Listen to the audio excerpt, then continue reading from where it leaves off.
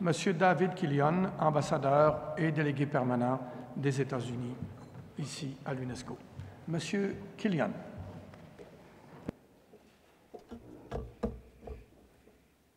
Mr. President, fellow delegates, UNESCO has faced its share of both good times and challenging times. Today, we find ourselves in one of those challenging periods. I assure you, no one appreciates the seriousness of the challenges this organization is currently facing better than my government.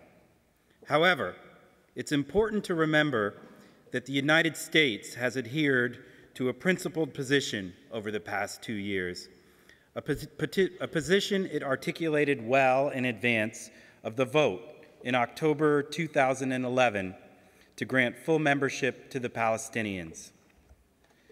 Despite that decision by the General Conference, President Obama, Secretary Clinton, Secretary Kerry, myself, and other officials at every level have been working tirelessly to seek a legislative remedy that would allow the United States to resume paying our contributions to UNESCO. Regrettably, that remedy has not yet been achieved. Nonetheless, the administration continues its effort to restore our funding for UNESCO. Fellow delegates, my main message for you is this. The United States remains at the table. Just as we were present for UNESCO's founding 68 years ago, the United States remains as committed to UNESCO's mandate and purpose today. The United States is proud to serve on UNESCO's executive board as a responsible, constructive, and transparent partner to discuss issues of reform and restructuring, to encourage the board to retain UNESCO's unique character of consensus and non politicized agendas, and to support the ideals of UNESCO. In the education sector, the United States strongly supports UNESCO's leadership as Secretariat for the UN Secretary General's Global Education First Initiative. To that end, Secretary Kerry has officially notified the Secretary General that the United States would like to become a champion country. Our support for the Global Partnership for Girls and Women's Education, launched on this very stage by Secretary of State Hillary Clinton, continues to build momentum around this critical issue. A complementary initiative is our support for literacy in Africa, and we're pleased to announce that the United States is reallocating $1.2 million in legacy UNESCO funding from Paris to the Juba Field Office in order to expand its ongoing literacy and peace-building project. In the science sector, UNESCO, with support from Japan, the United States, and others, has worked to develop state-of-the-art techniques to lo locate aquifers in the Horn of Africa. In areas where coastal erosion is a threat, UNESCO is designing new models to study and better understand the problem. UNESCO is a leader within the UN system at forging effective partnerships with the private sector. Particularly in this challenging fiscal environment, it is critical that we identify and leverage innovative sources of funding through public-private partnerships.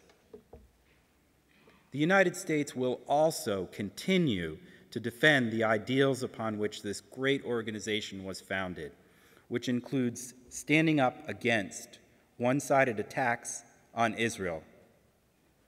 UNESCO should be above this kind of counterproductive politicization, which tarnishes the ideals of this organization and is harmful to the purpose, spirit, and integrity of UNESCO.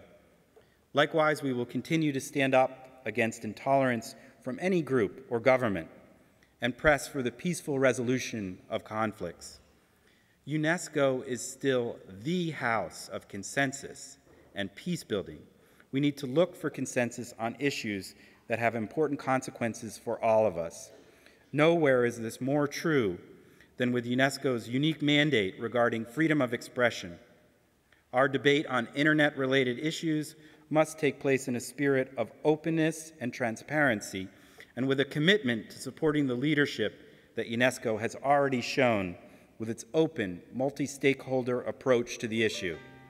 We must ensure that the, this discussion develops in a manner that is within UNESCO's mandate and that we do not attempt to use this body as a surrogate for dialogue better suited to other fora. Mr. President and fellow delegates, UNESCO matters. It's at the forefront of facing global challenges and improving the lives of people around the world. It expands access to quality education for women and girls. It leverages innovation and new funding streams through public private partnerships. It protects and preserves the world's cultural heritage. And it promotes freedom of expression and the protection of journalists. The United States recognizes that UNESCO is a critical partner in creating a better future. We intend to continue our engagement with UNESCO in every possible way. Although the Director General is not with us, I wish to offer her my sincere thanks for her friendship and her strong and inspired leadership. Fellow delegates, in my last national address, I wish you and the organization the very best.